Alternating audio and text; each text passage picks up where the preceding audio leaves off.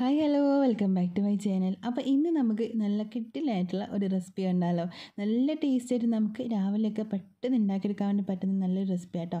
നമുക്ക് വൈകുന്നേരം ചായയുടെ കൂടെയും ഇനി ലഞ്ച് ബോക്സിലൊക്കെ കുട്ടികൾക്ക് കൊടുക്കാൻ വേണ്ടി പറ്റുന്ന നല്ല സിമ്പിളായിട്ട് റെസിപ്പിയാണ് നല്ല ടേസ്റ്റിയാണ് കുട്ടികൾക്കും മുതിർന്നവർക്കും ഒരുപാട് ഇഷ്ടപ്പെടുന്ന നല്ലൊരു റെസിപ്പിയും കൂടി കേട്ടോ അപ്പോൾ ട്രൈ ചെയ്ത് നോക്കുക ഇഷ്ടമായി ലൈക്ക് ആൻഡ് സബ്സ്ക്രൈബ് ചെയ്യാനും ഷെയർ ചെയ്യാനും കമന്റ് ചെയ്യാനൊന്നും മറക്കരുത്. നമുക്ക് വീട്ടിലോട്ട് പോകാം അപ്പോൾ നമുക്കിതാ ഈ റെസിപ്പി ഉണ്ടാക്കിയെടുക്കാനായിട്ട് ആവശ്യമായിട്ടുള്ളത് ഗോതമ്പ് പൊടി ആട്ടോ. ഒരു കപ്പ് ഗോതമ്പ് പൊടി എടുത്തിട്ടുണ്ട്.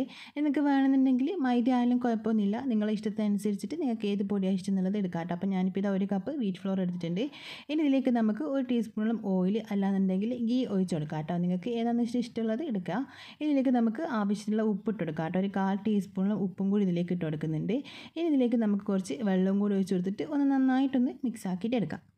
അപ്പോൾ ഞാനിപ്പോൾ ഇതിലേക്കൊരു മുക്കാൽ കപ്പോളം വെള്ളം കുറച്ച് കുറച്ചായിട്ട് ഒഴിച്ചു കൊടുത്തിട്ട് ദാ ഇതുപോലെ ഇങ്ങനെ മിക്സാക്കി മിക്സാക്കി എടുക്കുന്നുണ്ട് കേട്ടോ അപ്പോൾ ചെറുതായിട്ട് കട്ടയൊന്നും കിട്ടിക്കഴിഞ്ഞാൽ കുഴപ്പമൊന്നുമില്ല. നമ്മളിത് മിക്സിയുടെ ജാറിലേക്ക് മാറ്റി കൊടുത്തിട്ട് നന്നായിട്ട് അടിച്ചെടുക്കുന്നത് കേട്ടോ ഇപ്പോൾ നമ്മളിത് ആ മുക്കാൽ കപ്പ് വെള്ളം ഒഴിച്ചു കൊടുത്തിട്ട് നന്നായിട്ട് ഇതുപോലെ ഇങ്ങനെ മിക്സാക്കി എടുത്തിട്ടുണ്ട്. ഇനി നമുക്കിത് മിക്സിയുടെ ജാറിലേക്ക് മാറ്റി കൊടുക്കുക എന്നിട്ട് നന്നായിട്ട് അടിച്ചെടുക്കാം കേട്ടോ അപ്പോൾ വെള്ളം കൂടി പോകേണ്ട ഈ രീതിക്ക് ഉണ്ടാക്കിയെടുത്താൽ മതി. നമ്മളിത് മിക്സിയിൽ അടിച്ചെടുക്കുമ്പോൾ തന്നെ നല്ല കണക്കായിട്ട് നമുക്ക് ഈ ഒരു മാവ് റെഡിയാക്കിയിട്ട് എടുക്കാൻ വേണ്ടി പറ്റും കേട്ടോ ഇതാ നമ്മൾ മിക്സിയുടെ ജാറിലേക്ക് ഇട്ട് കൊടുത്തിട്ടുണ്ട്. നന്നായിട്ട് അടിച്ചെടുത്തിട്ട് ഇതാ ഇതൊരു പാത്രത്തിലേക്ക് നമുക്ക് മാറ്റി കൊടുക്കാം അപ്പോൾ ഇപ്പോൾ ഇതാ നമ്മൾ ഈ ഒരു മാവ് റെഡി ആയിട്ട് കിട്ടിയിട്ടുണ്ട് ഇനി നമുക്ക് ഈ ഒരു മാവ് വെച്ചിട്ട് ദോശ ഉണ്ടാക്കിയിട്ട് എടുക്കാം കേട്ടോ. ഈ ഒരു റെസിപ്പി ഉണ്ടാക്കാനായിട്ട് നമുക്ക് ആവശ്യമായിട്ടുള്ള ദോശ നമ്മൾ ഒരു മീഡിയം സൈസുള്ള ദോശ ഉണ്ടാക്കിയിട്ട് എടുത്താൽ മതി. ഒരുപാട് വലിപ്പമൊന്നും വേണ്ട കേട്ടോ.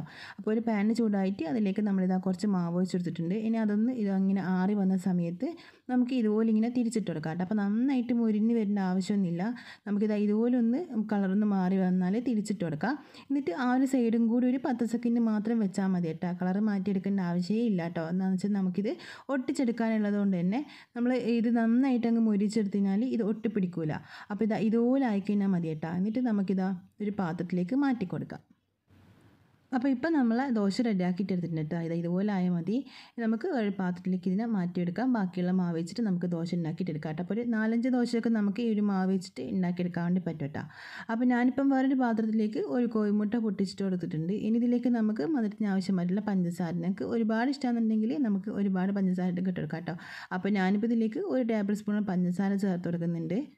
അപ്പം നമ്മളിപ്പോൾ ഇതിലേക്ക് ഒരു ടേബിൾ സ്പൂണോളം പഞ്ചസാര ഇട്ടോ ചേർത്തെടുത്തിട്ടുള്ളൂ അതുകൊണ്ട് തന്നെ ആവശ്യത്തിലുള്ള ഒരു മധുരം മാത്രമേ ഉണ്ടാവൂ. നിങ്ങൾക്ക് കുറച്ച് അധികം മധുരമൊക്കെ ഇഷ്ടമുള്ളതാണെങ്കിൽ നേരത്തെ പറഞ്ഞ പോലെ തന്നെ കുറച്ച് അധികം പഞ്ചസാര ചേർത്ത് കൊടുത്താൽ മതി കേട്ടോ.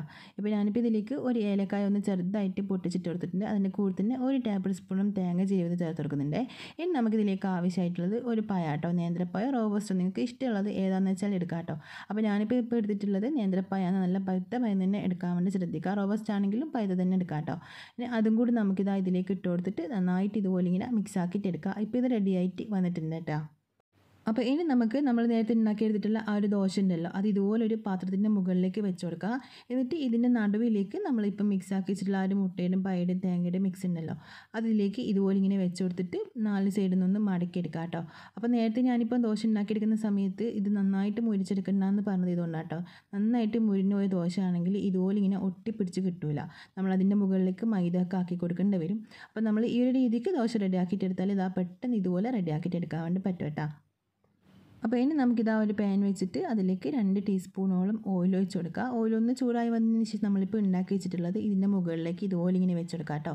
അപ്പോൾ നിങ്ങൾക്ക് വേണമെന്നുണ്ടെങ്കിൽ കുറച്ചധികം ഓയിലൊക്കെ ഒഴിച്ചിട്ട് നന്നായിട്ട് ഫ്രീ ആക്കിയിട്ട് എടുക്കുക കേട്ടോ. അല്ലാന്നുണ്ടെങ്കിൽ ഇതാ ഇതുപോലെ കുറച്ച് ഓയിൽ വെച്ചിട്ട് ഞാൻ തിരിച്ചും മറിച്ചിട്ട് കൊടുത്തിട്ട് ഒന്ന് കുക്കാക്കിയിട്ട് എടുക്കുക കേട്ടോ. അത് നിങ്ങളുടെ ഇഷ്ടത്തിനനുസരിച്ചിട്ട് നിങ്ങൾക്ക് ചെയ്യാം. ഒരുപാട് എണ്ണയിൽ നിന്നും കുടിച്ചിട്ട് നമ്മൾ രാവിലെയൊക്കെ കഴിക്കുന്നതിൽ നല്ലതല്ലേ ഇതുപോലെ ആക്കിയിട്ട് എടുക്കുന്നത്.